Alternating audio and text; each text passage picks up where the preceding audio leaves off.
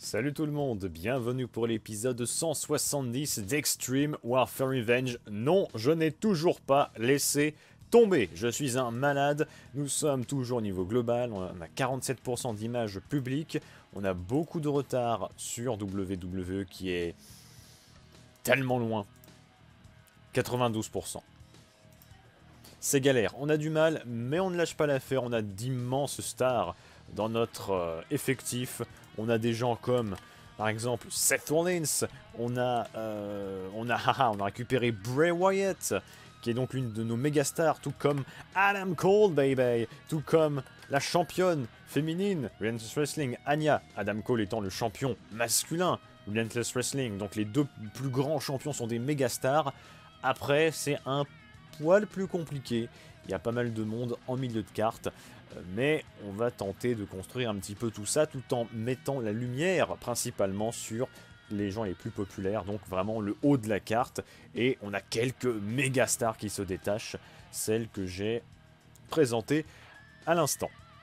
Voilà, histoire de remettre un petit peu les choses au clair après l'épisode 169 qui a été publié il y a bien longtemps de cela, donc on se remet tranquillement dans le bain. C'est vrai que j'ai eu une période où... Euh, j'avais peut-être moins envie de jouer, j'avais également pas mal de choses à faire à côté, donc avec notamment une petite série scénarisée sur WWE 2K19, instant publicité. Mais maintenant je me suis un petit peu replongé. Euh, j'envisage même euh, de façon très sérieuse maintenant à acheter Total Extreme Wrestling 2016, donc le plus récent. Il y en a un 2019 hein, qui va sortir, ou un 2020, je ne sais plus en, tout cas, une nouvelle version qui va sortir en 2020, donc de Total Extreme Wrestling. Euh, Total Extreme Wrestling, oula, il fait chaud, donc c'est dur. Euh, donc je me suis mis, je me suis remis euh, au, passage en regardant des vidéos d'un mec qui est encore plus fou que moi. Un mec qui est à, je sais plus, 480 épisodes, je sais plus. le nom de sa chaîne c'est TTT versus TEW. Le, le type s'appelle Rick, c'est son prénom. Et il a fait une série, il fait plein de séries sur ces jeux-là, ces jeux de gestion-là. Et il est en train de faire une grosse série sur euh, la TNA. Il veut euh, ressusciter la TNA, la réveiller. TNA Reawakened, Reawakened, c'est le nom de la série. Et, euh, c'est un, mec qui est très inventif. Hein. évidemment, il utilise TW 2016 pour faire son truc. Et je trouve ça très très rigolo. Il est lui aussi, secrètement, pas tant que ça, amoureux d'Alexa Bliss. Dans un des épisodes que j'ai vu il y a pas longtemps, il, était en mode ouais, donc Alexa Bliss euh, arrive, elle commence une nouvelle gimmick de corps parfait parce qu'elle a un corps parfait. il m'avait fait rire. Euh, évidemment, évidemment. Qui n'est pas amoureux d'Alexa Bliss, franchement Franchement. Bon, euh, alors, on a quand même un petit problème. Quitte à planter le décor, autant le faire en entier. On a un petit souci au niveau des shows télévisés. On n'a plus que deux semaines de contrat du côté de Tenacity. Sauf que quand on parle avec la chaîne de télévision, ils sont un peu inquiets par rapport aux audiences et par conséquent, ils n'ont pas envie d'étendre la durée du contrat. Donc à la rigueur, si les audiences sont moins bonnes après le show qu'on va faire dans quelques instants, euh, je vais peut-être proposer à la chaîne de changer le créneau horaire en attendant que ça aille mieux. Parce que bon, on est en, prime time. Peut-être que le prime time, ça passe plus, donc il faut, je sais pas, changer pour un créneau peut-être un peu moins regardé, histoire de réserver euh, le créneau prime time pour un programme plus regardé, pas forcément du catch, hein, bien sûr, hein, les chaînes de télévision ne diffusent pas que ça, mais on va bien voir. En tout cas, nous sommes le 14 avril 2027. Dans l'épisode précédent, nous avons eu notre euh, tout dernier pay-per-view. Game Changer, on a eu un score très honorable, 77%, hein, avec quand même des informations très importantes. Adam Cole est devenu, ou redevenu, je ne sais plus, champion du Limitless Wrestling. On a, euh, voilà, Lisa Russell qui a encore battu Sasha Banks. Euh, Anya, Anya toujours championne, elle a battu Ruby et Alexa Bliss dans le main event euh, du pay-per-view. C'était même le meilleur match. D'ailleurs, les femmes ont fait les meilleurs matchs de la soirée. Donc c'est cool. Euh, là, mon épisode, il est entièrement écrit. Là, je suis en train de faire un blabla pas possible dès le début. Donc, l'épisode va durer des heures, mais c'est pas grave. On s'en fiche. De toute façon, ce soir, j'ai tout mon temps. Je vais juste enregistrer un show et puis après, je ferai les deux suivants un petit peu plus tard. Donc on est prêt pour Tenacity, on joue notre place sur, euh, je ne sais même plus, quelle, même plus quelle chaîne de télévision, c'est quelle chaîne? C'est TNT. Donc on joue notre place en prime time sur TNT. Bon, je suis pas totalement optimiste. Euh, je pense pas qu'avec un show, on va réussir à, changer euh, notre destin sur cette chaîne. Mais ça vaut le coup d'essayer. D'autant plus qu'on a quand même quelques histoires à développer là. Donc à tout de suite pour le premier show de la soirée. Le show commence avec Julia Bells qui annonce le main event, notre figure d'autorité. Annonce donc un match euh, pour le plus grand plaisir des fans, évidemment, et pour faire suite à une confrontation, une altercation qu'il y a eu entre Neville et Pete. Lors du dernier pay-per-view, on a juste eu Pete qui était énervé et qui a tabassé Neville. Donc là, logiquement, on se dit que oh, il y a des tensions entre les deux, donc on va leur permettre de se défouler, petit match. Bon, c'est plus pour que Neville prenne sa revanche parce qu'il s'est fait euh, totalement massacrer par un Dunne euh, qui était furieux pour quelle raison d'ailleurs, je ne sais même plus. Juste Pete Dunne qui était pas de bonne humeur, on sait même pas pourquoi en fait. Euh, il a juste croisé Neville qui s'est retrouvé là au mauvais endroit au mauvais moment et c'est comme ça que la rivalité a commencé. Bon, euh, certains diraient que c'est un petit peu de la fainéantise euh, scénaristique, mais oui, c'est... Bon. Bref, 80%. On a ensuite un premier match qui a été demandé en plus. je ne sais même plus lequel des deux m'avait demandé le match, mais voilà, Sami Zayn contre Jason Jordan. Juste un petit match pour ouvrir le show correctement en termes de match, bien sûr. Euh, même niveau qualité, c'est pas tip top hein, quand même. Bon, victoire pour Jason Jordan, l'un des champions par équipe, avec Alex Silva. Bon, le match est noté en tout 70%, notamment grâce à la réaction de la foule. 74, la qualité est à 62, bon. C'était moyen. Bon, ils m'ont dit, ouais, tu vas voir, ça va être super. Bon, c'est moyen. Franchement, j'aurais pu le faire tout seul j'aurais pu faire ce match de mon propre chef, euh, et j'aurais dit, ah ouais, bon, bof. Pareil, quoi. Alors, Roy Foley est en coulisses, le rival de Seth Rollins, et il est comme ça. Bravo. Alors, on met Seth Rollins dans le match pour le titre majeur masculin, et pas moi. Et qu'est-ce qui se passe? Seth Rollins n'est pas champion. Donc bravo Seth. Bravo, tu as gâché ta chance une chose que je n'aurais absolument jamais fait, deux, une chose que je n'aurais jamais faite, eh ben ça prouve encore une fois que j'avais raison, qu'on devrait me donner plus d'opportunités parce que toi, bah tu en as plein, mais jusqu'à présent, t'as jamais réussi à concrétiser. Je crois que c'était sa première chance pour le titre hein, à Seth Rollins. Mais bon voilà, Roy avait dit ouais ça va arriver, il va se planter, il va se planter. Donnez-lui autant de chance que vous voulez, vous verrez qu'il va se planter. Alors, un conseil, ne le faites pas, donnez-moi des chances et vous verrez que moi, je réussirai à gagner le titre très vite, beaucoup plus vite que Seth Rollins qui ne le gagnera jamais de, toute façon, donc c'est pas bien compliqué d'être plus rapide que lui. Bon, Roy a fait une meilleure promo que moi parce que moi c'était un peu bancal, bref, il a fait un bon 80%. Moi, ça méritait euh, pas grand chose. Bon, Roy, pour confirmer un petit peu ce qu'il a dit, euh, a fait un match incroyable contre Zack Sabre Jr., donc un match où Zack a, jobé, hein, évidemment. Bon, c'était pour mettre Roy en valeur, puis on voit que Roy... Ouais, Roy, euh, il a pas trop envie de se casser la tête, euh, il a pas... Il a pas fait beaucoup d'efforts. Donc le match est noté 59%, on va pas s'attarder dessus, mais voilà, grosse victoire, comme ça Roy il célèbre à fond, il est en mode eh, vous avez vu, je suis trop fort, magnifique, incroyable ». Et là nous avons quelque chose d'assez intéressant. Donc Bray Wyatt nous a rejoint ce mois-ci. Il est pour l'instant resté très énigmatique sur ses intentions. Il les a un petit peu expliquées, avec des messages quand même un petit peu... Euh, un petit peu flous. En mode, les mauvais leaders sont présents chez Relentless Wrestling. Je suis là pour purger Relentless Wrestling de ces mauvais leaders. Un bon leader est censé tirer ses alliés vers le haut. Donc il y a quand même quelques, quelques meneurs de clans on a John Cena, voilà, qui est le meneur de son clan avec Alex Silva et Jason Jordan. On a CM Punk, meneur des Crazy Punks, avec euh, Bailey, AJ Lee et Neville. On a également The League avec Reed Bentley, euh, Trip Cassidy et Joey Vengeance. Bon, là c'est un petit peu compliqué. Les, trois sont plutôt indépendants en ce moment quand même. Hein. avec quand même euh, Joey Vengeance qui est blessé jusqu'à la fin du mois. Mais on, a justement une confrontation entre John Cena et CM Punk. John Cena qui est en mode Ah ouais, t'as entendu ce qu'il a dit, hein. il y a des mauvais meneurs euh, qui n'arrivent pas à mener euh, leurs alliés vers le succès. Regarde-moi, Alex Silva et Jason Jordan sont champions par équipe. Ils sont au top. Donc, quand il parle de mauvais meneurs, il parle évidemment pas de moi, il parle de toi. Regarde, Neville s'est fait massacrer par, euh, par Pete Dunne, il a pas su se défendre.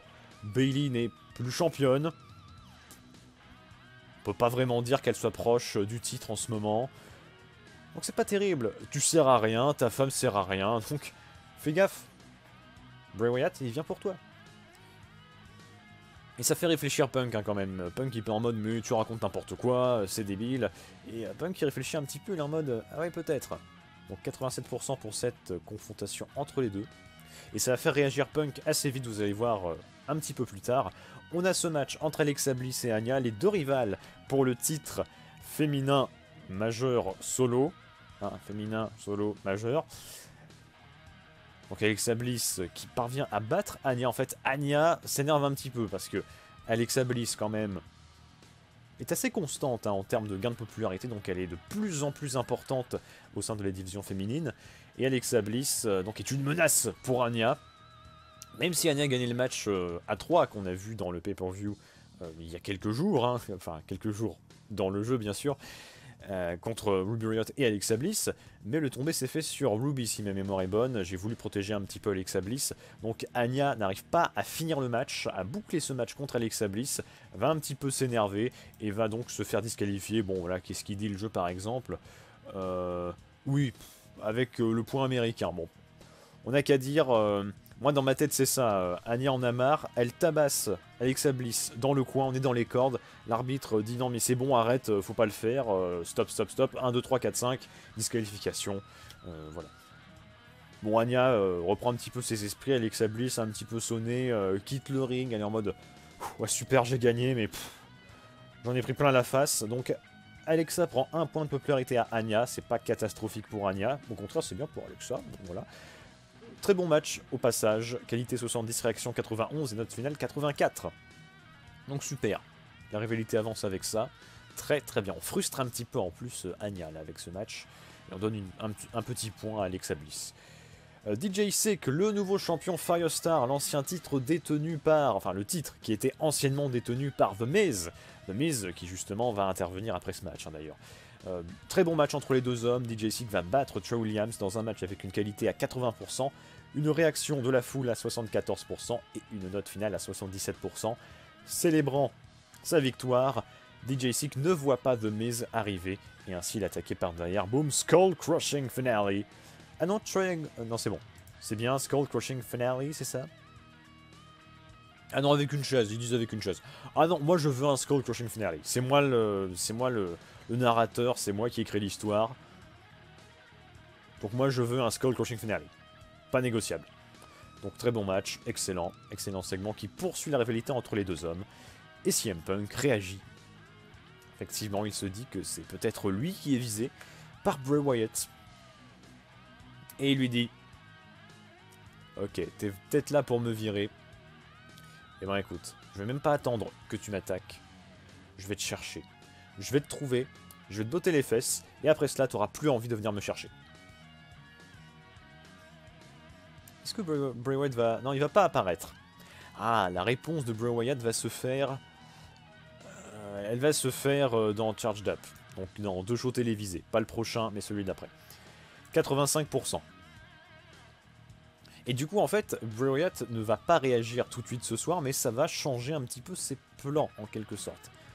Ah oui, là, je vous vends un petit peu la mèche. C'était pas CM Punk qui était visé par Bray Wyatt. En tout cas, c'était pas sa première cible. Parce qu'il y a un autre meneur qui s'occupe pas trop de ses euh, compères. Mais bon, euh, nous verrons ça par la suite. Avant-dernier match et avant-avant-dernier segment, Ruby Riot et Lisa Russell s'affrontent. Lisa qui est en rivalité avec Sasha Banks. Bon, évidemment, un petit match contre Ruby, ça passe très bien. Voilà. Les, deux femmes sont très populaires. Donc la qualité est à 67. La réaction est à 83, notre finale 78. Après ce match, ou plutôt pendant ce match, Sasha Banks arrive pour tabasser Lisa Russell. Lisa qui a battu Sasha Banks deux fois de suite. Donc Sasha en a marre, elle veut quand même... veut quand même pas disparaître dans l'oubli après deux défaites consécutives contre sa nouvelle rivale. Donc elle la tabasse, voilà. Ruby ne, se joint même pas à la fête. Après le match, bon, elle se dit, j'ai été disqualifié. Pouf, je m'en vais. J'ai fait ma soirée, je suis payé. Tranquille. Bon, elle est un petit peu déçue quand même, c'est une compétitrice. Mais bon, sur ce coup-là, elle se dit, bon, allez-y, débrouillez-vous, moi, moi je m'en fiche. Voilà, incroyable.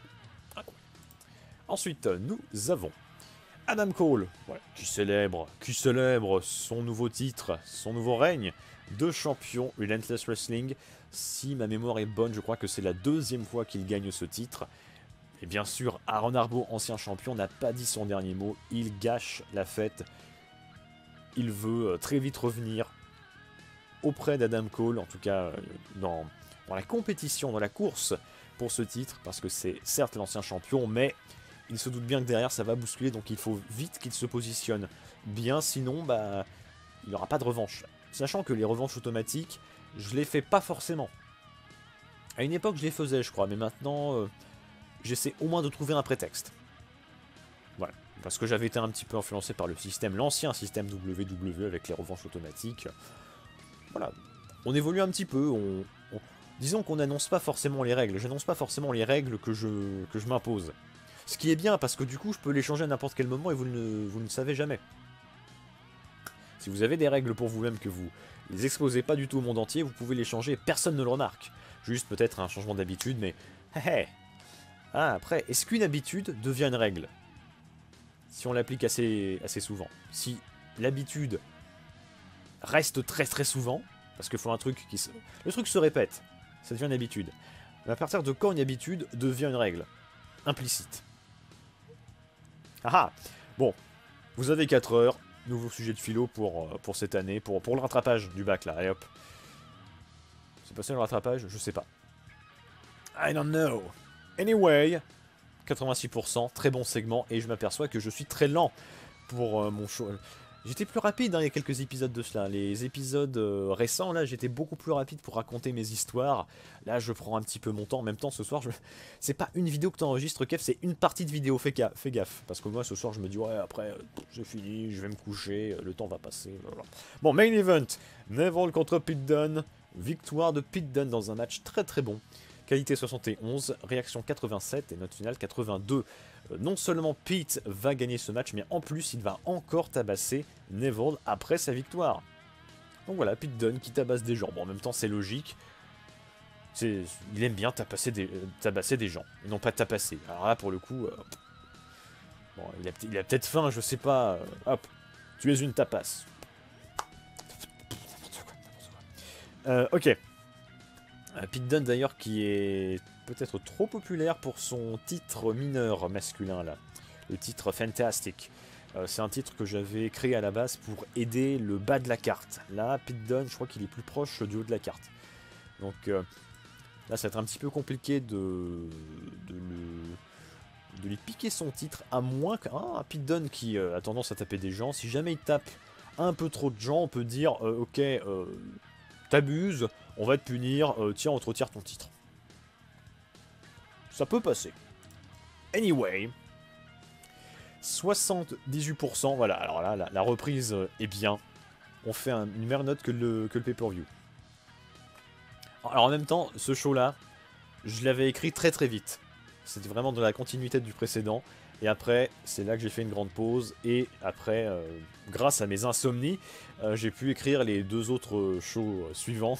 Mais sinon, le premier, celui que vous venez de voir, était écrit depuis bien, bien longtemps. Enfin, écrit, évidemment, entre guillemets, parce que c'est juste des notes. Hein. Point 1, euh, Julia annonce main event. Point 2, Jordan Bazane. Point 3, promo Roy contre Seth. Voilà, t'as perdu. Bref, voilà. Juste des prises de notes. Mais bon, vous avez compris l'esprit. Évidemment, je m'embête pas à écrire un roman à chaque fois, sinon ce serait beaucoup trop long. Ok. 4.84 euh, d'audience pour Tenacity. Est-ce que ça vous convient? Ah, C'est bien loin des records d'audience hein, sur cette chaîne. on a encore deux semaines. Les audiences, euh, ça va? Oh, ils sont heureux. Magnifique. L'extension de contrat, magnifique. Pile le bon moment pour négocier. Alors après, j'aurais tenté un changement de créneau horaire. Mais disons que si on avait perdu ce show-là, ça aurait été un petit peu compliqué. Bon, après, voilà. Euh, ouais, ça aurait, ça Limite, ce serait tombé à la fin du mois, ça aurait été le pire moment, parce qu'en fait, avec trois shows télévisés, je ne peux même pas négocier avec d'autres chaînes pour avoir d'autres shows, parce que 3 c'est le maximum. Donc il aurait fallu que j'attende vraiment qu'il me lâche, et s'il m'avait lâché vraiment, je sais pas, vraiment à la fin du mois, j'aurais eu très peu de temps pour trouver, euh, peut-être même pas du tout, pour trouver une autre chaîne de télé. Donc il n'y a pas de souci. Donc on est bien, bon c'est pas une grosse extension, hein. on le voit, on a quand même euh, Unsilenced qui euh, dure depuis bien plus longtemps que ça, qui a plus de contrats, plus de semaines restantes au niveau du contrat, mais ça donne une bonne bouffée d'air frais. 6 mois c'est bien, ça va nous permettre de voir, de voir venir. Donc c'est super.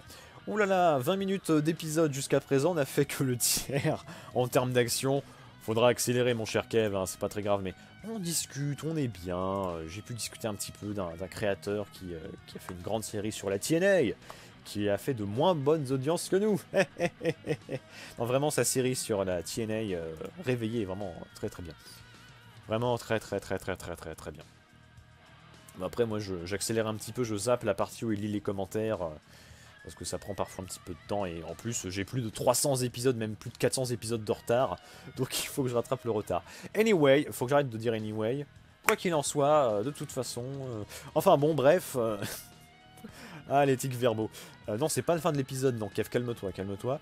On a un nouveau show télévisé, le moins regardé des trois que nous avons actuellement, il s'agit d'Unsilenced. Comme souvent à Unsilenced, on commence avec un petit match, voilà, sans trop d'importance.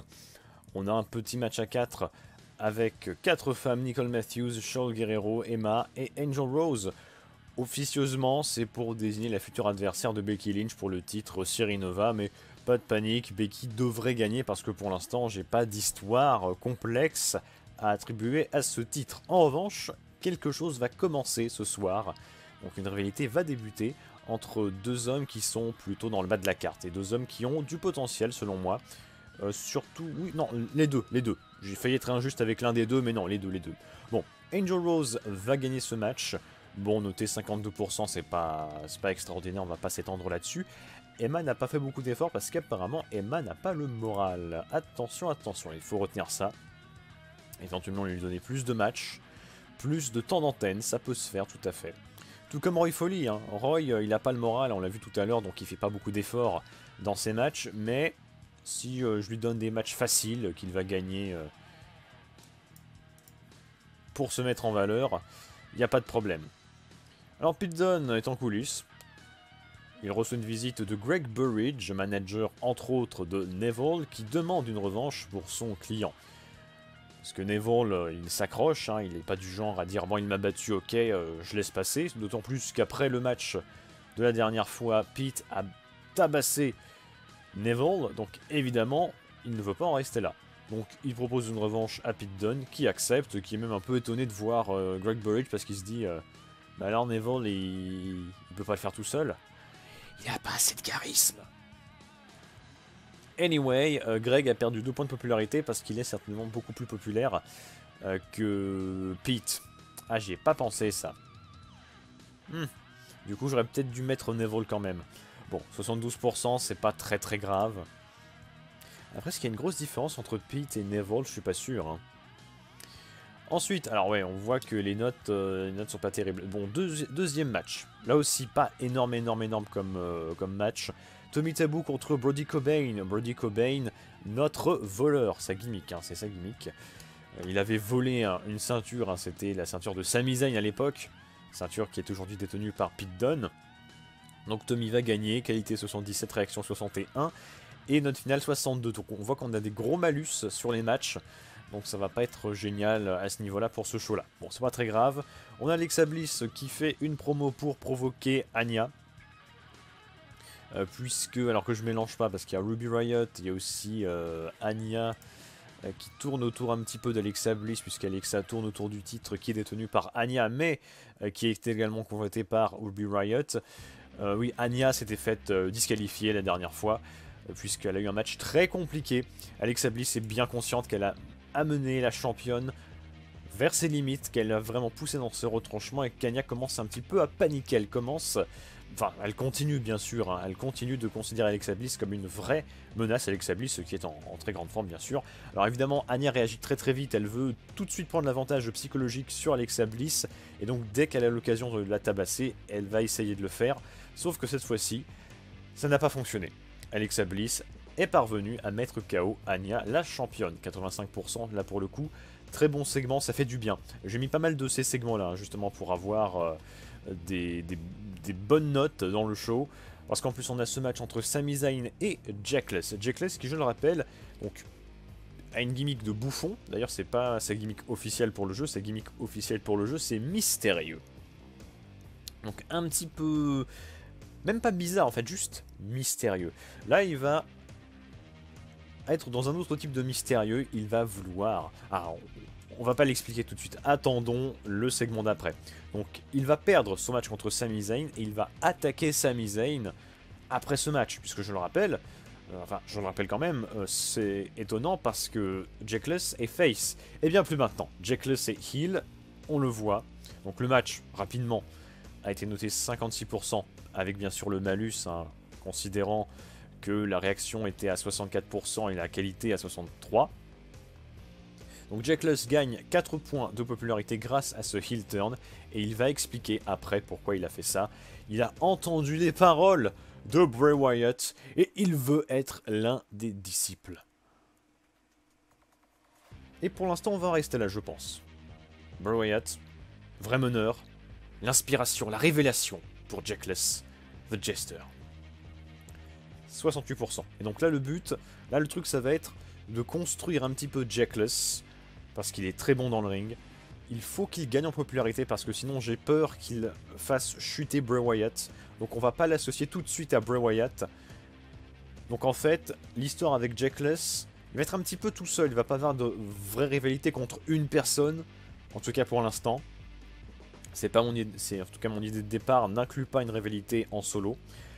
L'idée avec Jackless, c'est qu'il va tenter de se faire remarquer par Bray Wyatt. Il va donc être un, un bon, on va dire, un, bon, pas disciple, mais on va dire euh, sympathisant en quelque sorte, en, faisant ce que Bray Wyatt aimerait qu'il fasse, par exemple, en l'impressionnant. Il va, voilà, plus simplement, il va essayer de l'impressionner. 68%, c'est pas trop mal, il a du charisme quand même. René Young, donc ensuite, et voilà, son petit plateau, à son installation. Elle est avec son invité Seth Rollins, et les deux discutent évidemment de Roy Foley, de cette histoire avec euh, le titre euh, masculin qui est passé sous le nez de Seth Rollins, euh, de Bray Wyatt éventuellement. Non, on va pas évoquer Bray Wyatt. On parle juste et surtout de Roy qui embête beaucoup Seth Rollins. Et Rollins va surtout dire quelque chose de, bah, très particulier. Roy adore se plaindre. Roy adore montrer à quel point j'ai des opportunités qu'il n'a pas. On a vu Roy dans un ring cette semaine. C'était pas fameux. En plus, euh, Seth a déjà fait des remarques à ce sujet-là, sur les qualités techniques de Roy Foley. Franchement, c'est pas la folie. Aha, ah, aha. Ah. Tout simplement.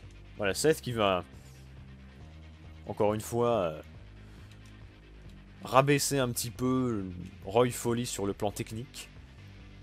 Et il ajoute en plus, euh, s'il tient vraiment à avoir des opportunités à peu près les mêmes, que moi, il a qu'à bosser plus dur parce qu'apparemment il n'a pas le niveau qu'il faut. C'est tout. Calme, posé, cette Rollins, c'est pas de souci. Ensuite, on voit juste Adam Cole qui est en coulisses. Qui profite du show. Notre grand champion et méga star profite tranquillement du show en coulisses, même si c'est un show mineur. C'est le show mineur de, pas de BCW, mais de Relentless Wrestling, RW. 90%, merci pour cette apparition, Adam. Ensuite, nous avons un très bon match, assurément. Eh oui, même avec le malus, c'est excellent. Ruby Riot contre Alexa Bliss. Ce n'est même pas un match de rivalité, puisque je le rappelle, les matchs de rivalité ont un petit boost. évidemment si la rivalité est suffisamment chaude, si elle est suffisamment intense. Là, même pas. La rivalité, c'est pardon, entre Alexa Bliss et Anya. Là, on a juste un match qui est bon, mais purement bon. Vraiment, dans, l'essence même de ce match, c'est du bon entre ces deux-là. Victoire pour Alexa Bliss, qui ne se fait pas attaquer cette fois-ci par Anya, puisqu'elle a mis les points sur les i et surtout sur la figure d'Anya un peu plus tôt ce soir-là. Qualité du match 74, très bon entre les deux. 86 de réaction de la foule, très bon parce que les deux femmes sont très populaires. Et 73% de note finale.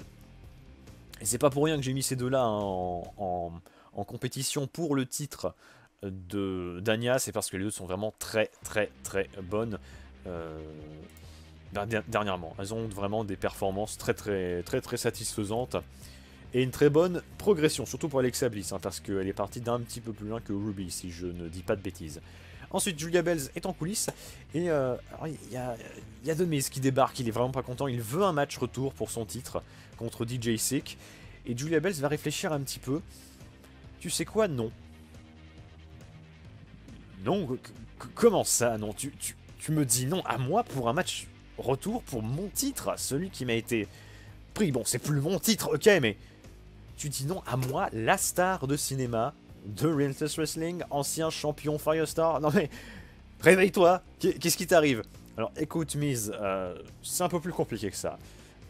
DJC qui est très impressionnant dernièrement, mais il n'est pas le seul. T'es une méga star, ça c'est indéniable.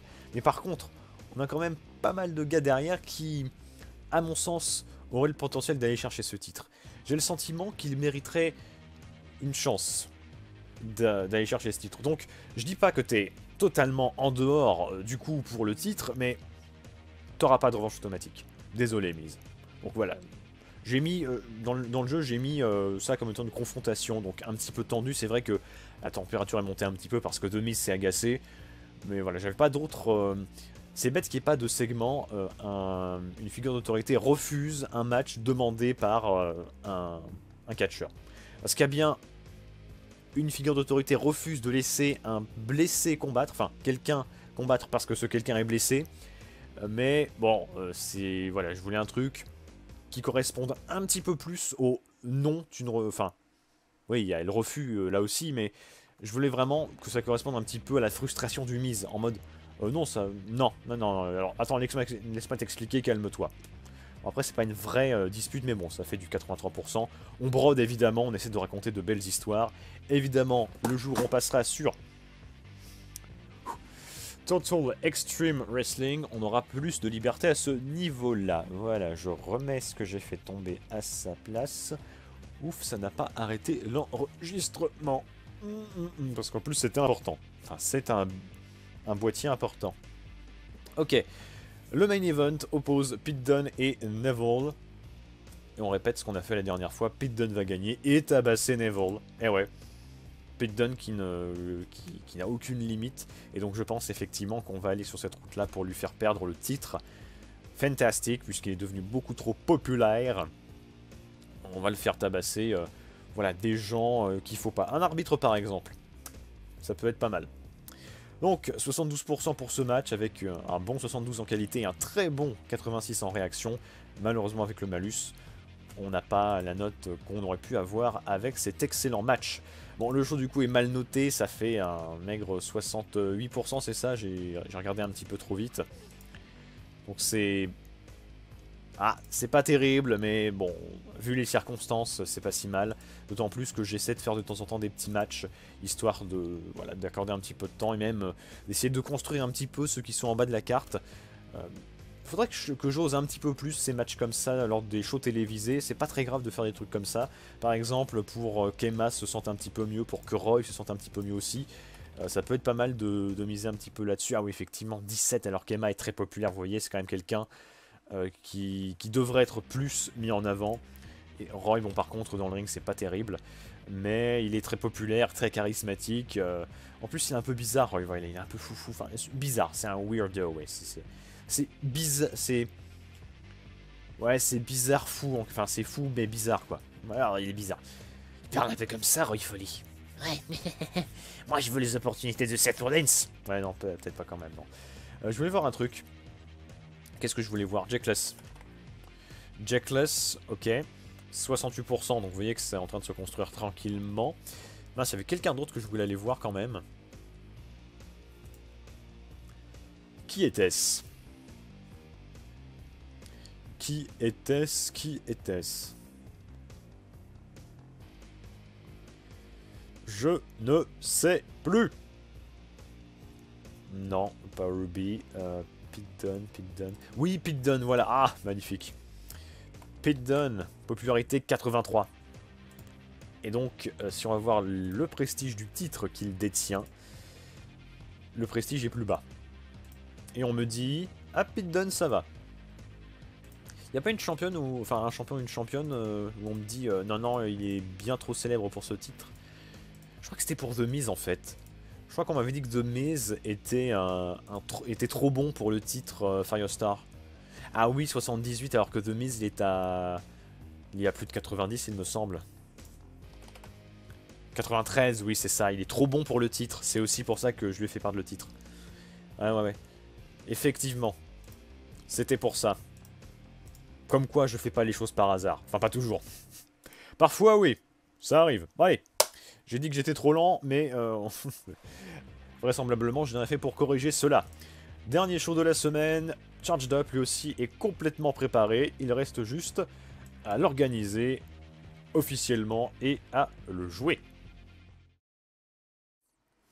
Bon, on est prêt pour le dernier show. Cette fois-ci, a priori pour les matchs, pas de malus. Et c'est tant mieux. Il y a aussi il y a eu une petite difficulté technique, on va dire, euh, par rapport à ce que je voulais raconter, à ce que je voulais faire et avec ce que le jeu me proposait comme outil pour le faire. Bon, vous allez voir, c'est le pire, c'est que c'est vraiment un truc euh, tout bête, mais euh, voilà. Alors, Reed Bentley va battre Barrett Brown. Reed qui a déjà eu une opportunité pour le titre Firestar détenu par The Miz à l'époque.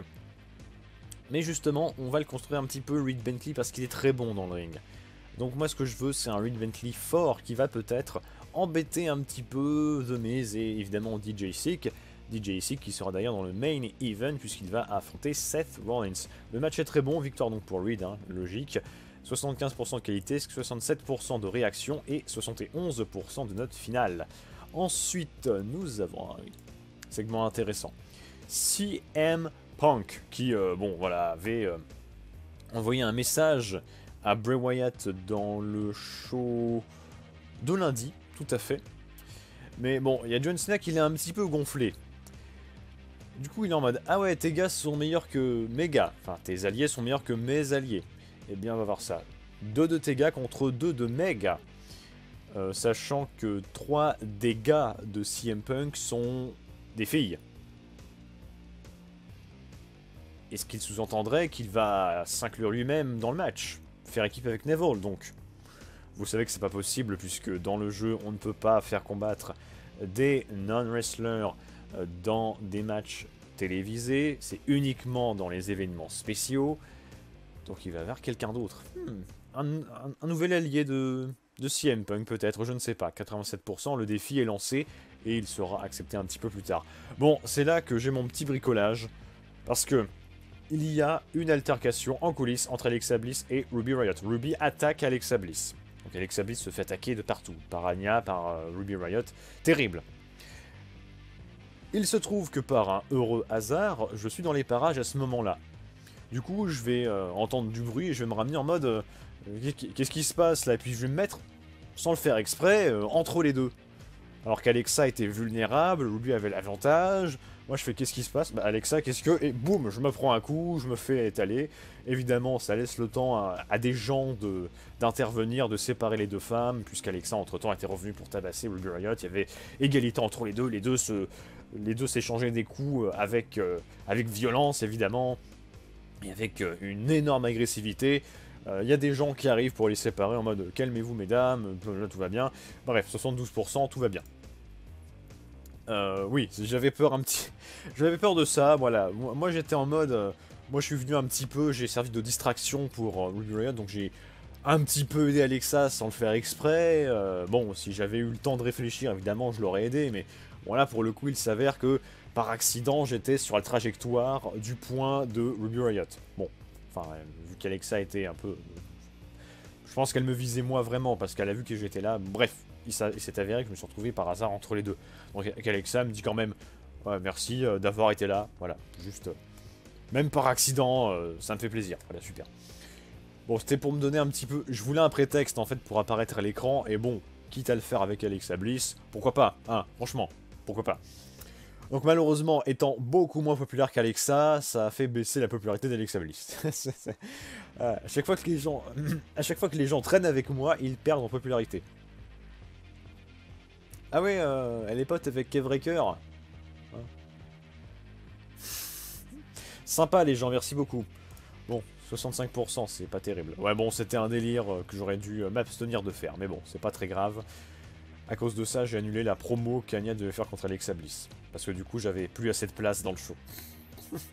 Et ça aurait fait trois segments avec Alexa Bliss euh, visibles ou mentionnés. Donc ça aurait fait trop. Mais bon, c'est pas grave. Petit délire créatif.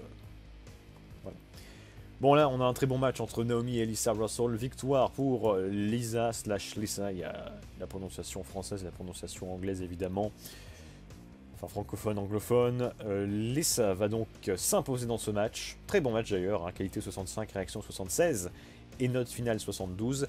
Elle se fait ensuite attaquer par sa rivale, Sasha Banks. Terrible. C'est très, euh, hein, très, très agressif en ce moment, euh, les rivalités. On a Jackless, justement, qui avait attaqué Sami Zayn. Et j'ai menti, c'est pas exactement dans le show précédent qu'une rivalité commence, c'est dans celui-ci, puisque Chris Joel va défendre plutôt venger son partenaire, Sami Zayn. Il va attaquer Jackless en coulisses, encore une fois une bagarre en coulisses. Ça devient incontrôlable. Donc là, Jackless va se faire tabasser et Chris va partir en hurlant Voilà ce qui s'en prend, voilà... voilà ce qu'il en coûte de s'en prendre à mon partenaire. Parfait pour à ça. Voilà. Bon, 67%, c'est vraiment le début de la rivalité. évidemment, on aura, j'imagine, des segments mieux notés par la suite. Petit match à 6 qui se passe vraiment très très bien. Alors en général les 3 contre 3 sont un petit peu délicats puisque c'est toujours très compliqué d'avoir 6 personnes euh, qui vont être euh, plutôt compatibles dans le ring ou même très populaires. Et les deux c'est encore pire. Là pour le coup, Aaron Arbo fait équipe avec Jack Silverwood et Ryan Genesis et ils affrontent Adam Cole, rival d'Aaron Arbo, et donc euh, Unholy Cult, pardon, j'ai un petit bug de cerveau, Unholy Cult, Zig Zavant et Gregory James qui sont les acolytes d'Adam Cole. Ils ont été alliés euh, par les circonstances euh, par le passé, mais ils ont gardé depuis un, lien, on va dire, un lien certes qui n'est pas extrêmement fort, mais disons, ils trouvent de la sympathie les uns pour les autres, tout à fait. Bon, on a le clan Adams Family, donc voilà, c'est un clan qui est pas forcément hyper soudés, mais ils sont potes. On peut le dire, ils sont potes. Ils passent pas ils sont pas tout le temps ensemble, ils sont pas genre les meilleurs amis du monde, mais disons que de temps en temps, ils savent qu'ils peuvent compter les uns sur les autres. Et ça va être une victoire pour l'équipe d'Aaron Arbo qui va faire le tomber sur euh, Adam Cole. Alors à la base, je voulais que ce match se finisse sur un compte extérieur, mais apparemment c'est pas possible pour les 3 contre 3. Pour les 2 contre 2, oui, il n'y a pas de problème. Mais pour les 3 contre 3, non. On ne peut pas finir par une disqualification classique ou même un compte extérieur classique. Bon, du coup, j'ai fait le tomber. Je voulais quand même protéger un petit peu Adam Cole. Bon, non, dans les 3 contre 3, c'est toujours un petit peu le bazar, donc c'est pas extrêmement grave. Donc, je parler des notes. Elles sont très bonnes, qualité 67, mais c'est surtout la réaction qui est excellente. 78 et note finale 74. Très bon match. Et nous avons ensuite Bray Wyatt qui est en coulisses et qui réagit à la provocation de CM Punk. Alors lorsqu'il a fait son discours sur les mauvais meneurs, il ne visait pas CM Punk en particulier, en tout cas, il n'était pas là. Il n'était pas le premier souci de Bray Wyatt. Il n'en dit pas plus à ce sujet-là Bray. Il dit juste que si Punk a envie de se mesurer à lui, qu'il en soit ainsi. 92%. Bon, c'est juste un... Voilà. C'est pas une vraie rivalité, c'est juste... Euh, pourquoi je fais des grands gestes comme ça? C'est juste histoire, voilà, d'avoir un petit programme entre, entre les deux. Nous avons donc un match par équipe, les gars de John Cena contre les gars de CM Punk. Et bon, bah, comme prévu, ce sont Alex Silva et Jason Jordan qui sont les représentants du clan de John Cena. Et en revanche, en face, nous avons Neville et Bailey. Et oui, pourquoi pas bah, Après tout, Bailey fait partie du clan CM Punk. En plus, dans le ring, très bien. Je pense même que ça fait une bonne équipe, Neville Bailey. Il me semble que les stats sont quand même assez proches. Il me semble qu'elles sont vraiment très très proches, euh, maintenant que j'y pense. J'avais regardé ça, mais il me semble que les stats entre les deux sont vraiment très proches. Donc ça fait une bonne équipe. Hein. Après, la qualité est pas au rendez-vous. C'est ça qui est un petit peu étonnant. Après, oui, dans les équipes, les styles euh, de, chaque membre des équipes et... Enfin... Chaque équipe est bien associée. Disons que voilà, les deux duos sont bien formés. Par contre, l'affrontement des deux duos, c'est pas terrible. Parce que bon, euh, Silva et Jordan sont un peu meilleurs dans le ring que Neville et Bailey. Enfin bref, les stats sont pas pareils. Mais sinon, je pense que Silva Jordan, pas de soucis. Quoique... Neville Bailey, normalement, c'est très bon. Donc victoire pour Neville et Bailey. Qui se font ensuite tabasser tous les deux par Pete Dunne. Alors Pete Dunne, en, ce moment, c'est terrible. Hein. C'est le thème. Pete Dunne tape tout le monde. C'est terrible. Pete Dunne, à la fin de chaque show, il tabasse quelqu'un. Enfin là, c'était pas à la fin par contre. C'était euh, c'était l'avant-dernier match. Bon, quasiment la fin. C'est vers la fin.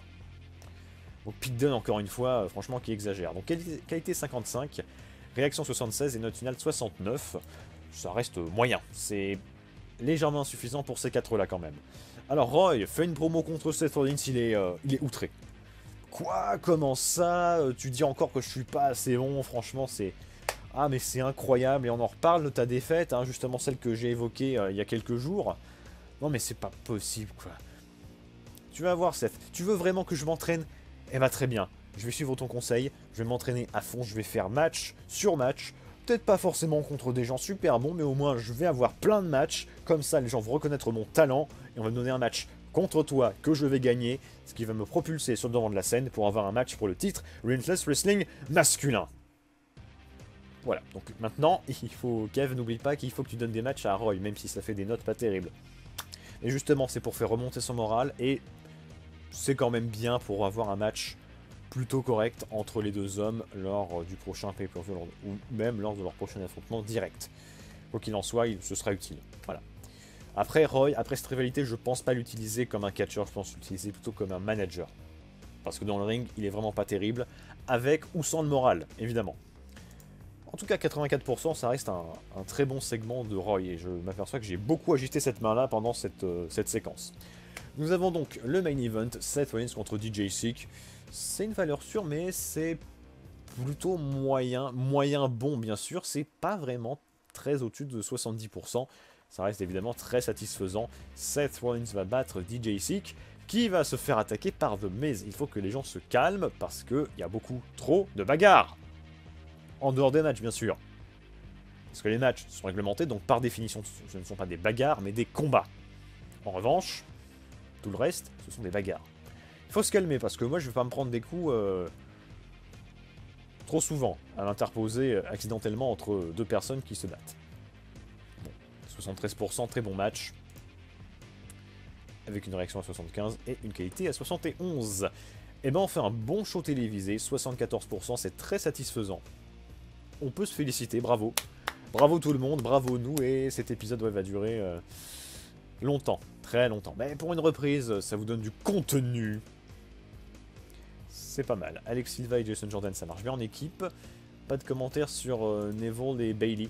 Ah oui, alors, euh, Alex Silva et Jason Jordan qui m'ont un petit peu saoulé tout à l'heure. Parce qu'ils étaient en mode... on n'a pas envie de perdre parce qu'il y a une fille de l'autre côté.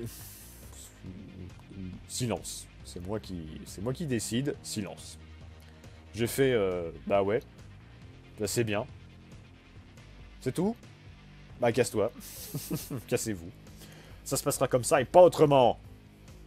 C'est qui le patron? Julia? Bonne réponse. Ouais, donc cette histoire avec Neville et Bailey, là. Euh, Neville 33, 64, 39. Ah bah non. Non, non, pas du tout. Je crois que pas du tout. En bagarre et en technique, c'est proche. Ça fait une équipe pas trop mauvaise. Euh. Neville est un peu plus populaire. Et sinon, euh, Alex Silva et Pirata Morgan, est-ce sont un petit peu dans... Ouais, ils sont pas trop trop éloignés quand même. Hein. Ça m'étonne que ça ait, pas, euh, ça ait pas tant pris que ça. Parce que bagarre et technique, ils restent tous euh, un petit peu proches. C'est... Curieux, je m'attendais un petit peu mieux. Bon après, les stats sont pas folles, hein. c'est sûr que quand on dépasse pas 40, ou à peine, c'est pas terrible. Mais je m'attendais quand même un tout petit peu mieux de la part de, ces quatre-là. Bon, c'est pas très grave, le match était quand même... Il était bof, ouais, il était bof. C'est pas grave, on va finir la semaine et par conséquent l'épisode. Et je vais, dans quelques instants, commencer à écrire le prochain épisode. Donc donner des matchs à Roy Foley, ça on peut faire. En donner aussi à Emma. Essayer de commencer une autre rivalité en bas de la carte, ça peut être intéressant également. Pour construire des, futures stars, les, stars de demain. N'est-ce pas? N'est-ce pas? Blablabla, blablabla, des histoires de contrat. Anyway, pas intéressé. Magnifique. On finit l'épisode avec une image publique à 54%. On avait commencé l'épisode à combien? On était, à 40, on était à 47 au début de la semaine Parce que là, je revois mon enregistrement. On était à 40... Waouh Waouh On vient de prendre 7% d'un coup. Alors ça, c'est énorme par contre. Ça, c'est vraiment très très bon. Est-ce que c'est parce qu'on a piqué une star à, WWE Bah non, ça fait quand même plusieurs semaines qu'on l'a fait. Oh, mais ça, c'est très bon. Ça, c'est très très bon. On avait plus de 50% de retard. Euh, enfin, plus de 50% de popularité de retard par rapport à WWE. Alors, on est à 54 et WWE est à 93. On n'a plus que 49 de retard. Ah ah Non mais non mais faut le signaler quand même. Plus 7%, c'est énorme. Faire un bon pareil, c'est pas anodin. Pour le nombre de fois on a stagné, euh, c'est vraiment, vraiment très très bon pour le coup. Là, on peut vraiment se réjouir. Et donc, on peut s'applaudir pour euh, cette belle reprise après euh, des semaines qui sont passées depuis la publication de l'épisode 169. Et bien sûr, ce, on se quitte, on se retrouve bientôt, ou pas bientôt, hein, avec cette série, on ne sait jamais, pour le prochain épisode d'Extreme Warfare... Ah Pour le prochain épisode d'Extreme Warfare Revenge. Salut tout le monde, à la prochaine.